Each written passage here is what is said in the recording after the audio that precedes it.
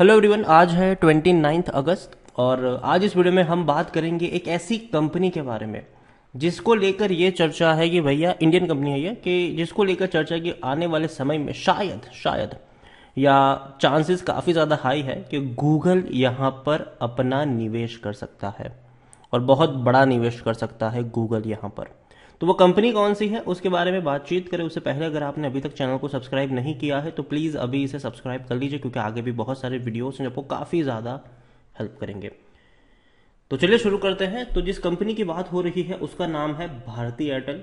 पाँच सौ पिचानवे रुपए का ये शेयर है। और अगर आप मेरे चैनल को रेगुलर फॉलो करते हो तो भारतीय एयरटेल के ऊपर कई सारे वीडियोस में बना चुका हूँ। आप देख सकते हैं कि इसी साल मई महीने में जब 536 का शेयर था, तब भी मैंने कहा था कि खरीदारी का मौका है। मुझे यह शेयर महँगा नहीं लग रहा है, क्योंकि देखिए वोडाफोन आइडिया का स्ट्रगल कहीं ना कहीं एयरटेल और जियो के लिए फ़ायदेमंद साबित हो सकता है। दोनों ही सूरतों में, अगर वोडाफोन आइडिया सर्वाइव करता है तो भी फ़ायदा है, डूबता है तो भी फ़ायदा है। क्यों? वो मैं आपको एक्सप्लेन करूँगा। उससे पहले अगर हम देखें तो इससे पहले भी पिछले साल अक्टूबर महीने में जब चार सौ बत्तीस रुपए का शेयर था, तब भी मेरी यहाँ पर बाइंग की रिकमेंडेशन थी और मैंने कहा था कि बहुत ही धीमे तरीके से आगे बढ़ेगा तो आप में पेशेंस होना ज़रूरी है। अब होता क्या है कि एयरटेल जब लंबे समय तक बढ़ता नहीं तो काफ़ी लोग अपना पेशेंस यहाँ पर लूज कर जाते हैं और कहते हैं कि यार बहुत ही बेकार शेयर है ये। तो मैं अगेन कहूँगा पेशेंस होना ज़रूरी है इस कंपनी में अगर आप खरीदारी करते हैं तो। और जैसे कि मैंने कहा कि वोडाफोन आइडिया की स्ट्रगल क्यों इनके लिए फ़ायदेमंद हो, साबित हो सकती है। देखिए अगर वोडाफोन आइडिया डूब जाता है, किसी वजह से मतलब जो कर्जा नहीं चुका पा रहे हैं, काफ़ी ज़्यादा जो कर्जा बढ़ चुका है, अगर डूब जाता है वोडाफोन आइडिया तो उनके जो यूज़र बेस है, वो डेफिनेटली दूसरे नेटवर्क को तलाश करेंगे। उसके लिए काफ़ी सारे ऑप्शंस मिलेंगे और जो बड़े प्लेयर्स है दो, वो एयरटेल और जियो ही है। उसके अलावा भी और भी कई सारे हैं बी एस एन एल से लेकर कई सारे हैं, लेकिन मेनली जो दो बड़े ऑप्शन है, वो यही है। ठीक है? उसके अलावा अगर वोडाफोन आइडिया सरवाइव कर जाता है तो सरवाइव करने के लिए भैया उनको सरकार की मदद की ज़रूरत पड़ेगी। जो टैरिफ वगैरह है, उसको शायद सरकार को थोड़ा सा रिलैक्सेशन देने पड़ेंगे और अगर स्पेशली वो नहीं कर सकते कि किसी एक कंपनी को दे तो वो नियमों में बदलाव करेंगे। और अगर नियमों में बदलाव होते हैं ऐसे में तो याद रखिए, उससे कई सारी कंपनियों को फ़ायदा होगा और उसमें ये भी कंपनी शामिल है, क्योंकि इनके ऊपर भी कर्जा है, ठीक है। हालाँकि उतना बड़ा नहीं है, वोडाफोन सॉरी वोडाफोन आइडिया जितना और दूसरी बात है कि कर्जा है तो भी इनके पास इतनी अच्छी खासी फंडिंग है कि कंपनी सर्वाइव कर सकती है। अब बड़ी बात यहाँ पर यह है एयरटेल को लेकर कि भैया आज इनकी फंड रेजिंग के ऑप्शंस को लेकर बोर्ड मीटिंग होने वाली है और एक और बड़ी खबर है, वो ये है कि एयरटेल में गुड में soon get several thousands of crore investment from Google Google से बहुत जल्दी इनको बड़ा इन्वेस्टमेंट मिल सकता है। अब देखिए Airtel might soon get an investment from Google which could run into several thousand of crore as per media reports both the companies are already in advance stage of discussion and negotiate since last year तो media report ये कहते हैं कि भाई, पिछले साल से इन दोनों के बीच में नेगोशिएशन चल रही है कि भैया हम इन्वेस्ट तो करेंगे, लेकिन किस तरीके से करेंगे उसको लेकर। The report suggest the investment from Google into Airtel can be quite a large amount बहुत ही बड़ा इन्वेस्टमेंट ये हो सकता है। आप देखें तो गूगल ने ऑलरेडी जियो में चौंतीस हज़ार करोड़ रुपए का इन्वेस्टमेंट करके रखा हुआ है। ठीक है? It remains to be seen what are the underlying dynamic because the Jio and Google already partner कर चुके हैं। ठीक है? अब ये राइवल कंपनी एयरटेल में किस तरीके से निवेश करेंगे, उसी को लेकर भैया इतने इतने महीनों से दोनों के बीच में डिस्कशन चल रहा है। अब देखिए Bharti Airtel is already looking to raise capital so that it can invest it on its four G network around the country to increase capacity Jefferies believe that since there is no urgent need of raising cash the telco is likely to assuming that it will need a large capacity network to hold all the Vodafone Idea customers that come in way तो देखिये यहाँ पर क्या हो रहा है? Vodafone Idea के बहुत सारे कस्टमर अगर अगर वोडाफोन आइडिया सर्वाइव नहीं करता जो जिस तरीके से पैनिक फैला हुआ है, ठीक है वोडाफोन आइडिया को लेकर तो लोग जो वोडाफोन आइडिया के नेटवर्क को स्विच कर रहे हैं तो हो सकता है कि इतने सारे कस्टमर्स को संभालने के लिए भैया उनको लार्ज कैपेसिटी चाहिए नेटवर्क के लिए। तो वहाँ पर वोडा एयरटेल जो है वो अपना पैसा स्पेंड करने वाली है आने वाले समय में।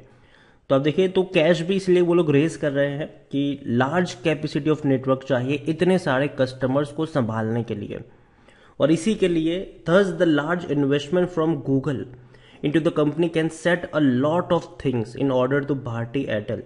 It will allow the telco to smoothly pay off its debt and मतलब जो सरकार का कर्जा है, अगर बड़ा इन्वेस्टमेंट गूगल से आता है तो जो सरकार का कर्जा इनको चुकाना है वो भी चुका देंगे और दूसरी बात कि भैया जो इन्वेस्टमेंट को करनी है 4G और 5G नेटवर्क्स में, इतने सारे कस्टमर्स को संभालने के लिए, वो भी कर सकते हैं ये तो प्लान तो बड़ा अच्छा है और आज इनकी बोर्ड मीटिंग भी होने वाली है फंड रेजिंग को लेकर बोर्ड भारतीय एयरटेल की। और अगर मैं आपको चार्ट पे ले चलूँ तो पिछले एक महीने में इसके शेयर्स में तकरीबन 10 परसेंट का ग्रोथ नज़र आया है। पाँच रुपए से सीधा 635 तक पहुँच गया था, लेकिन उसके बाद गिरावट आई है, यहाँ पर आप देखिए। एक साल में अगर देखिए तो पिछले एक साल में 16 परसेंट का ही ग्रोथ है। लेकिन लेकिन, जब भी ये नीचे गया है, चार सौ रुपए के आसपास, पाँच सौ रुपए के आसपास जब भी गया है, एक बड़ी रफ्तार से दौड़ा है छह सौ रुपए तक। वापस टूटा, वापस तेज़ी, वापस टूटा, वापस तेज़ी। पाँच सौ रुपए का जो लेवल है, वो खास करके मुझे काफ़ी ज़्यादा पसंद आता है यहाँ पर, क्योंकि वहाँ से चांसेस बहुत ज़्यादा हाई है कि ये रिकवर करेगा करेगा करेगा ही। अब देखिए लॉन्ग टर्म में भी, तीन साल में भी इकहत्तर परसेंट का ग्रोथ है। दो सौ साठ रुपए का शेयर था। डेफिनेटली तेज़ी बनी थी। छह सौ रुपए तक पहुँचा। कोरोना काल में टूट गया। दोबारा बाउंस बैक दिखाई। दोबारा टूटा, दोबारा बाउंस बैक दिखाई। तो देखिए वोडाफोन आइडिया का जो स्ट्रगल है, वो कहीं ना कहीं एयरटेल और जियो के लिए भैया कह सकते हैं कि अपॉर्चुनिटी बन सकती है। लार्ज कैप शेयर है। तीन लाख करोड़ से भी ज़्यादा का इसका मार्केट कैप है। वॉल्यूम ट्रेड एक करोड़ से भी ज़्यादा का है। डेढ़ करोड़ से भी ज़्यादा का है। इतना ही नहीं प्रमोटर के पास thirty five point eighty percent की होल्डिंग है। 18.12 परसेंट की होल्डिंग एफ़ आई परसेंट की holding mutual fund, six percent की होल्डिंग इंश्योरेंस कंपनी और जनरली जो बहुत बड़ी होल्डिंग है वो कहीं ना कहीं देखने को मिल रही है बाकी के पास।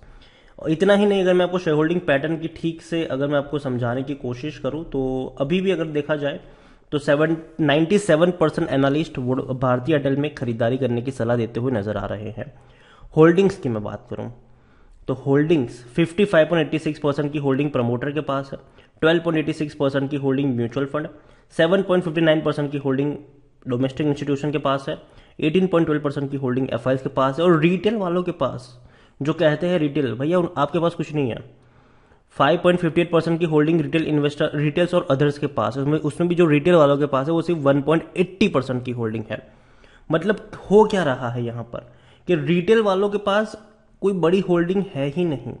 जो बड़ी बड़ी होल्डिंग है, वो बड़े बड़े फंड हाउसेस लेकर बैठे हुए हैं, प्रमोटर लेकर बैठे हुए हैं। तो रिटेल वालों के पास कोई ज़्यादा बड़ी होल्डिंग देखने को नहीं मिल रही है और पिछले कुछ क्वार्टर से उतनी ही होल्डिंग है जितनी पहले थी और उसी को रिटेल वाले मैनेज करके चल रहे होल्ड करके चल रहे हैं। तो देखो, मैं इतना ही कहूँगा, ऐसा नहीं हो रहा है कि भैया रिटेल वाले बहुत ज़्यादा खरीदारी कर रहे बड़े फंड हाउसेज बिकवाले कर रहे जी नहीं, बड़े फंड हाउसेज जहाँ थे वहीं पर है रिटेल वाले भी जहाँ थे वहीं पर है, कोई ज़्यादा चेंजेस यहाँ पर देखने को नहीं मिल रहे हैं। और अगर सब कुछ सही रहा, जो गूगल के इन्वेस्टमेंट की बात करें या फिर कोई और भी बड़ा इन्वेस्टमेंट आता है तो याद रखिए एयरटेल के लिए बहुत ही बेहतरीन चीज़ होगी। एक बड़ा फंड जो इनके पास आएगा, वो इनको हेल्प करेगा जो कर्जा है उसको चुकाने में। और तो और जो 4G और 5G नेटवर्क ये लोग लगाने की सोच रहे हैं और इनकी अपनी कैपेसिटी बढ़ाने की बात हो रही है, उसके लिए इनको काफ़ी ज़्यादा मदद मिलेगी इसकी वजह से।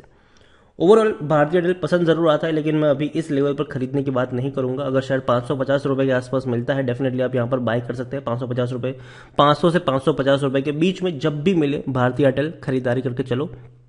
और लॉन्ग टर्म का जो इसका ट्रेंड है, वो लगता है कि काफ़ी पॉजिटिव रहने वाला है। क्योंकि आने वाले समय में जियो और एयरटेल, यही दो बड़ी कंपनी आपको नज़र आएगी टेलीकॉम मार्केट में।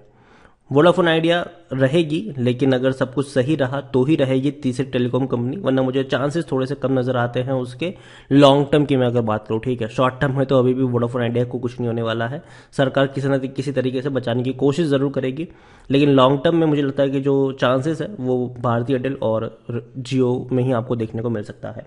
वीडियो को यहीं पे एंड करूँगा। पसंद आया हो तो लाइक कर शेयर कर। चैनल वगैरह पहली बार है तो प्लीज़ सब्सक्राइब करें और भारतीय एयरटेल के बारे में आप क्या सोचते हैं और जो इन्वेस्टमेंट की बातचीत हो रही है गूगल को लेकर, उसके बारे में आप क्या सोचते हैं वो भी आप मुझे कमेंट में लिख बता सकते हैं। Thank you